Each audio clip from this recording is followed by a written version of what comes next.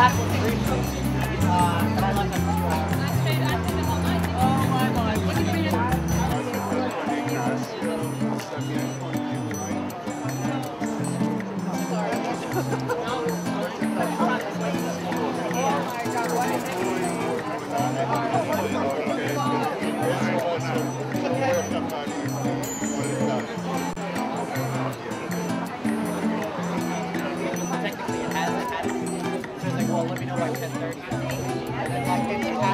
Yeah, because yesterday I actually had a 9:30 deadline, and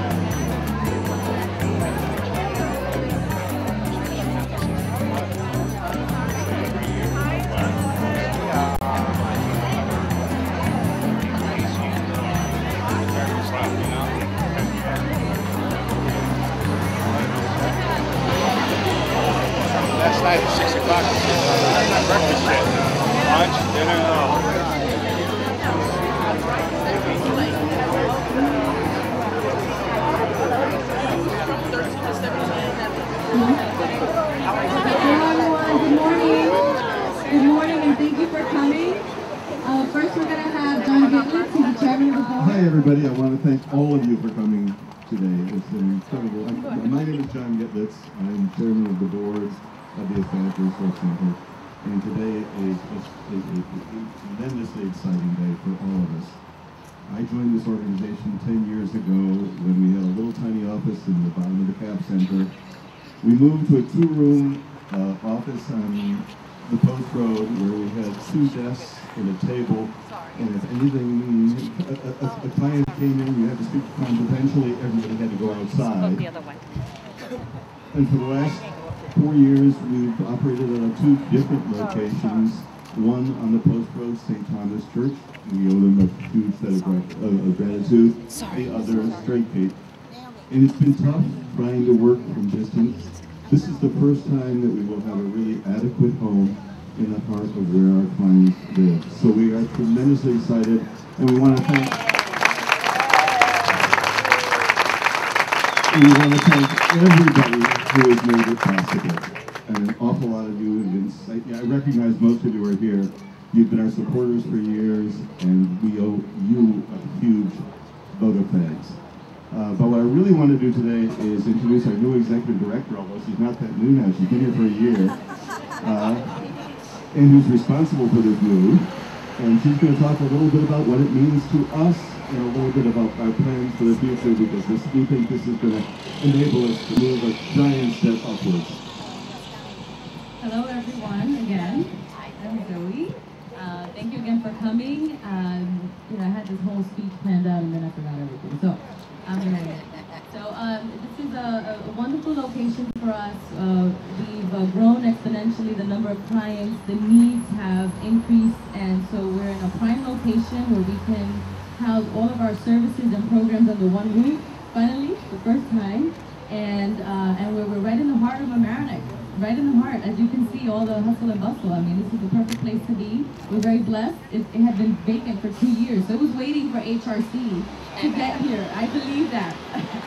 and so again, I want to thank you all for coming and invite some of the elected officials to come up so we can cut the ribbon. Um, so, and before I do that, I really want to thank the staff and our volunteers. We have Gail Vidales, please show your face.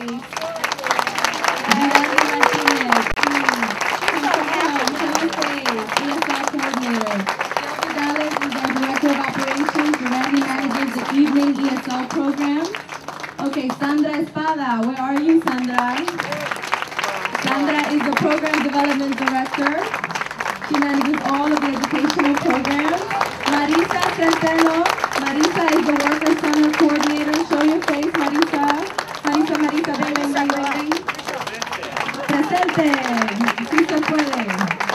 Okay, then we have our lovely case managers, Janet Rolón and Janet Altamiranda.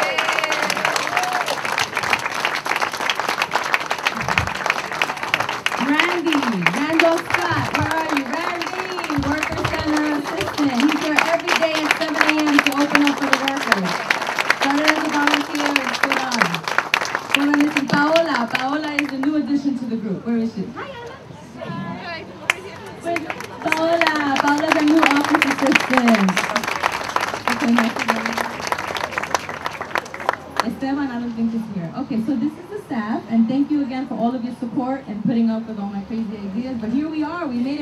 I couldn't have done it without you. So thank you. And the board, where are you? Raise your hand. Yeah, board members. thank you. Okay, so now I'm going to call up the uh, elected officials. Deputy Mayor Louis Santoro, Village Manager Richard Slingerland, If you're gonna help us cut the ribbon. And Tony Ryan, Nana and Zoe. Zoe. Zoe. Zoe. We have elected officials here, and so um, I'm gonna continue. We're all gonna cut the ribbon Zoe, together. Valerie I sure- O'Keefe. Yeah, Valerie O'Keefe, sound supervisor.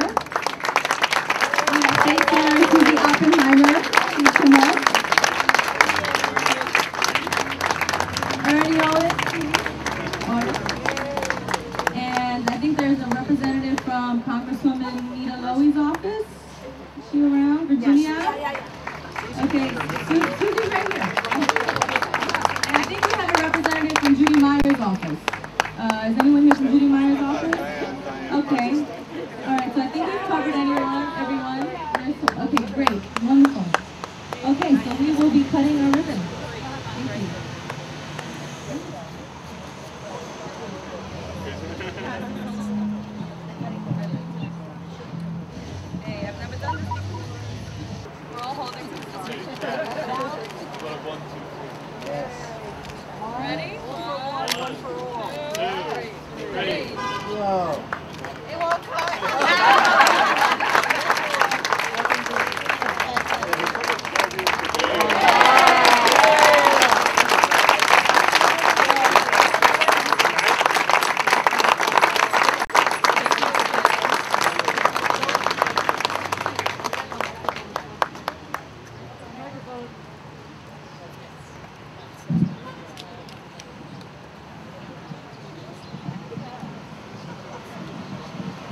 We're, we're going to take you in for a tour.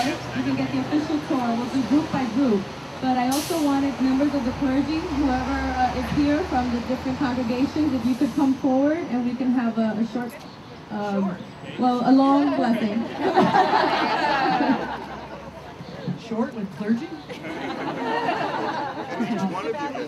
Well, I'm, I just, I'm actually gonna say something and then you can pray something. I, I want to thank the HRC for its consistency and its persistency. Oh, oh, who I am? I'm Deb Tamero from St. Thomas uh, Episcopal Church with the farmer's market, the pumpkin patch, and until today, the HRC. We're very proud of that. I am Reverend Bill Crawford, I'm the pastor of Larchmont Avenue Church, and it's been my pleasure to be on the board for the past, I guess, five or six years. Um, so it is with uh, muchísimas gracias uh, a Dios uh, y a todos uh, la comunidad. Say amen. That we, that we welcome you and so many others who are yet to come here for the service and for the care of this uh, wonderful organization. My name is Father Joseph Kahungu uh, from Most Holy Trinity Church. I come, I came all the way from Kenya this morning to witness this great occasion. We are so blessed to have this work going on here. And no matter where we come from, from our religious affiliations, or political or cultural backgrounds, we stand here with one common purpose, namely to serve humanity with dignity and with love.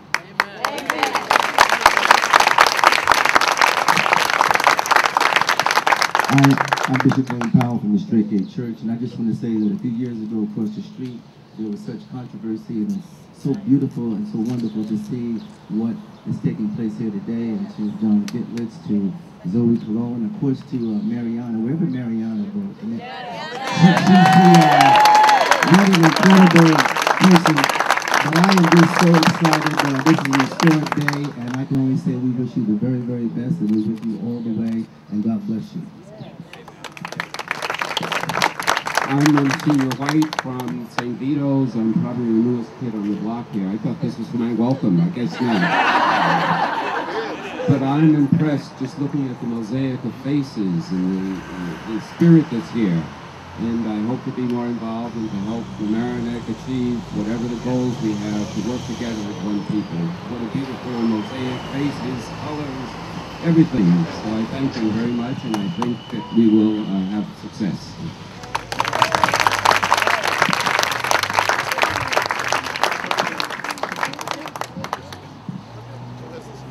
I think we've had, uh, we had one or two elected officials that wanted to say a couple of words.